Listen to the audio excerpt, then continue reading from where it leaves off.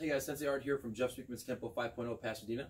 I'm going to go over some of the basics that you guys are going to need to know, some of the smaller details and things that we really want you guys to focus on. So this is especially for you guys that are doing your beginner intro classes with us during our virtual classes on Zoom.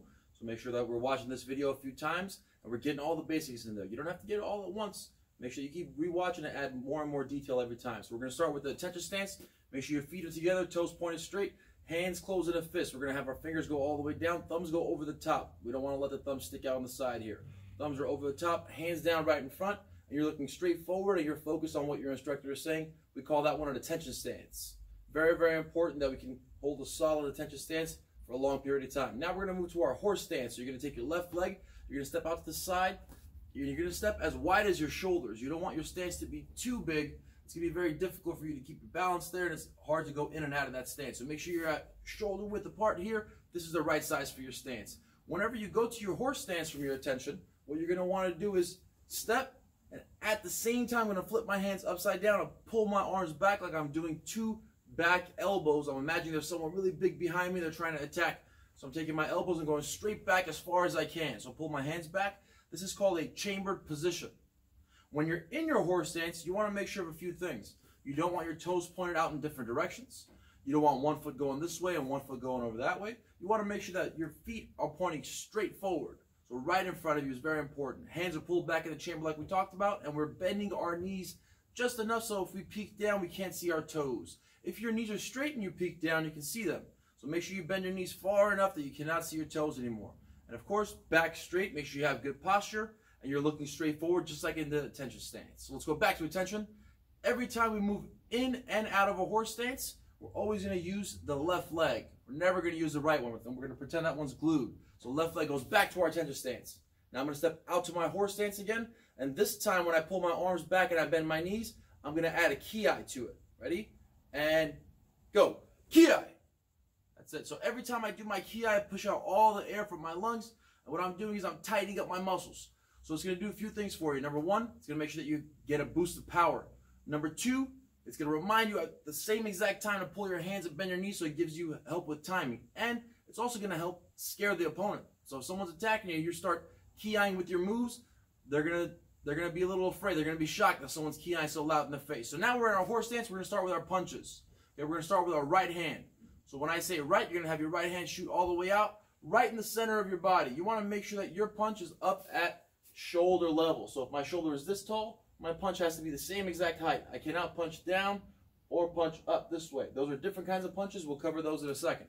So we're here in our horse stance, right hand out all the way in the middle, and every time that you hit with a punch or you do a block, an elbow, you're going to ki every time. So it looks like this. Ki! And I hold it right there in the center. That arm stays up there until I'm ready to do the next one. So when I throw my left hand here, I'm going to pull this one back as hard as I can. So watch it in slow motion. This hand goes back, the other hand comes all the way out, and I flip it over every time I punch. Let's do that again. So I'm going to pull this hand back as I'm turning it upside down. Other hand comes out, and now I'm here in this position with my palm facing down. Let's do the next one. Ready? I'm going to pull this one back, go all the way out with the other hand, and flip it over. So every time you guys do your punch, I want to see your hand rotating. So I'm going to pull this one back by rotating your palm up, and the other hand goes out, and it flips over as soon as I'm ready to do my punch. Again, we're at shoulder height. Not too low, not too high. Good. Now if we do a double punch, it looks like this. You're going to throw two punches in a row, but if you have two punches, that means I need two key eyes. So watch this. Kia, kia. Just like that. So you want to make sure you're hitting the same spot every time. I'll show you again. Kia, kia. Good. So I'm not punching all over the place, right in the middle every time. Those are your regular punches and your double punch. Another name that we have for our regular punch is a horizontal punch, which means it is flat this way. Now we're going to learn the other version of our punch, which is called a vertical punch. All you have to do here is take that punch that you were just doing at shoulder height. We're going to turn it sideways. We call this a vertical position. And we're going to raise it up to nose level. So instead of going to shoulder level, when we're punching up above our shoulder level to the nose, we're going to turn our hand vertically and we're going to lift it up just a bit higher. Here we go. So right hand's going to do our vertical punch. Ready? And right. Good. And see how I'm holding it right there in front of my nose. Now every time I throw, I'm going to add my ki. Ready? And go. Ki. Again, go, kia. Again, go, kia. Go, let's put our hands to the side and chamber. So by watching this video a few times, you'll get used to the names of the moves, you get used to the positions like the chamber, the toes straight, knees bent. All those will come with time. The more and more you practice, the easier it's going to get for you, and the better you're going to get at doing these moves. So now let's move on. So we have those moves in there. We did our horizontal punches, we did our double punches, and we did our vertical punch. Now we're going to go to our back elbow. Okay, here's what I'm going to do for you guys. I'm going to turn sideways so you can see me here. So my hands are in a chamber position. When I call for a back elbow, the hand that I call, we're going to start with the right. You're going to go all the way out to the front as far as you can.